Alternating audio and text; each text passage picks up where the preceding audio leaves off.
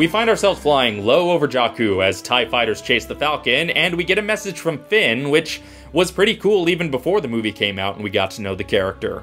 This was the first time a real actor from a real Star Wars movie showed their face in Star Tours. Or at least their non redigitized face.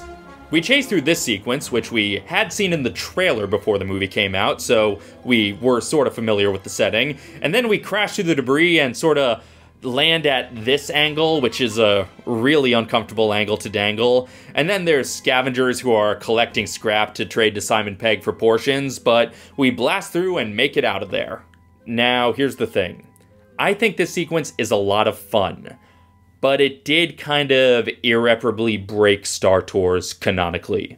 Before this sequence, Star Tours The Adventures Continue always took place in Rogue One times or thereabouts, and sure, it was a stretch that the Empire was using Trade Federation control ships at the same time as they were using Star Destroyers, but it was still within the realm of possibility, canonically, that they were using all these tactics at the same time. When this scene was added, the rest of the ride took place in Rogue One times, except for this one moment where we detour to Force Awakens times, stay there for the BB-8 hologram, and then rush back to Rogue One times. Granted, we don't know for sure when BB units were invented, so it's possible that BB-8 was already working with Rebellion at this point, we just never saw him in any of the movies.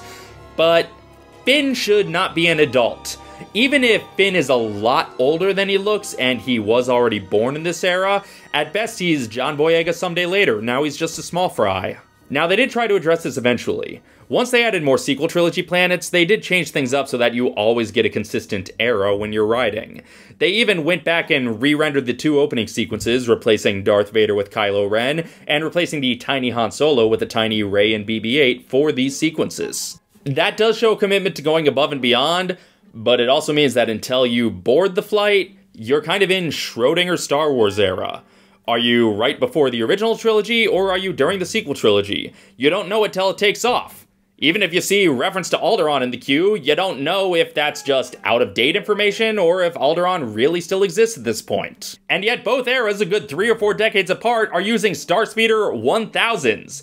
Did the debacle with Rex and the Death Star set the company so far back that they not only had to send Rex to Batuu to be a DJ, they also had to downgrade from the Starspeeder 3000s back down to the 1000, where 3PO could make the exact same mistake he had already made multiple times decades earlier? The crazy thing is, even 20 years ago, I would not be asking these questions.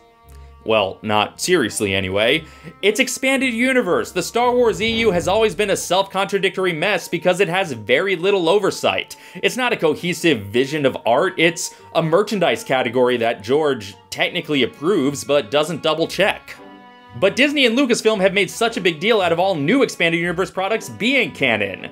The other theme park stuff is canon. The aftermath of Rise of the Resistance is why Hux is the way he is in Rise of Skywalker and I just can't help but feel there was an unspoken asterisk where Disney meant to say, all Star Wars Expanded Universe is canon except Star Tours. That said, even when George was in charge, the Star Wars universe was based largely on justifying mistakes via retcon, so I'm sure any day now we'll get a full series on Disney Plus explaining the full ins and outs of just how every Star Tours ride profile fits into the canon. It'll be a really boring story, but it'll make more sense than anyone except me needs it to. I am available to write this series